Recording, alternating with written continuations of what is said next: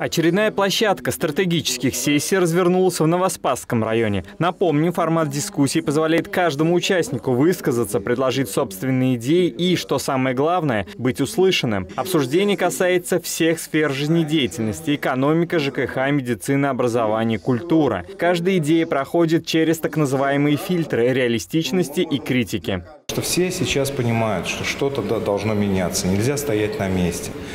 А, надо двигаться, двигаться в направлении, которое ну, является самым важным.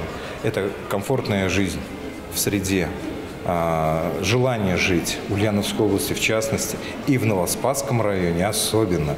Общественность вырабатывает план развития муниципалитета на ближайшие 10 лет. Идеи и предложения по демографической ситуации. Как стимулировать рождаемость и остановить отток населения из сельских поселений. Как усовершенствовать адресную социальную помощь многодетным семьям. Как установить моду на большие семьи. Как обеспечить сопровождение мужского и женского здоровья. Это лишь немногие из вопросов, прозвучавших в Новоспасском районе. К слову, группа модераторов и экспертов стратегической сессии представлена специалистами различных сфер и компетенций. Традиционно большой пласт инициатив относительно благоустройства и создания туристической привлекательности населенных пунктов. Большое поле для обсуждения предполагает раздел «Комфортная среда». Было рассмотрено много вопросов по благоустройству сельских территорий и по строительству комфортного, но доступного по цене жилья, по созданию условий для детского досуга и занятий спортом в сельских поселениях. Например, Виктория Малашкина предлагает идею развития пруда Зыков-Ключ в поселке сельхоз техника.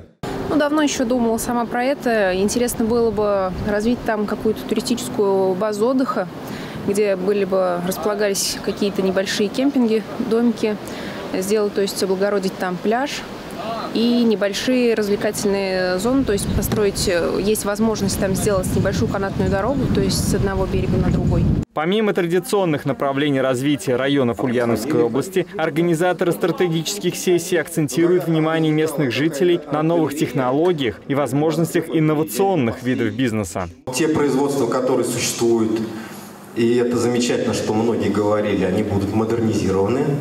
Действительно наступает эра зеленых технологий, которые будут широко внедряться. Но, тем не менее, есть и другие примеры. Э, замечательный пример, который дал наш земляк Руслан Фазлыев. Наверное, многие слышали о нем в последнее время.